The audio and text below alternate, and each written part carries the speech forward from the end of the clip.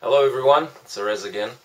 I haven't posted anything the last week because it's been an extremely busy week. I went to see another surgeon for a second opinion and met with my surgeon to discuss the whole process of the amputation and schedule a date.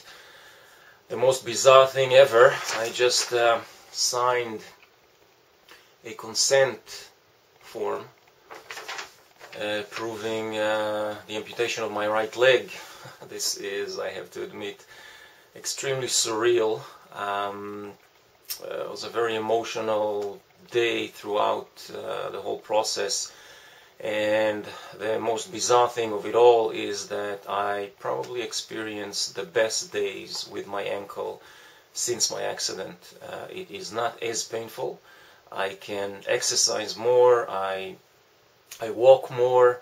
I actually experience quite a good time right now, and it is a serious mind bender because you think maybe things get better, maybe the previous surgery I had a couple of months ago had something to do with it.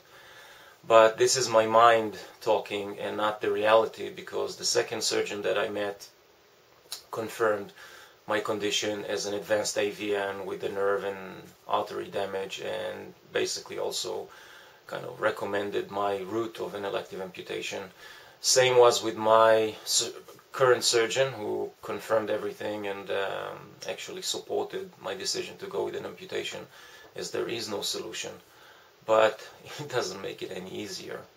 And it's, um, it's quite a difficult time right now uh, to try and wrap my head around it. I'm very busy trying to figure out uh, the details and gather more information.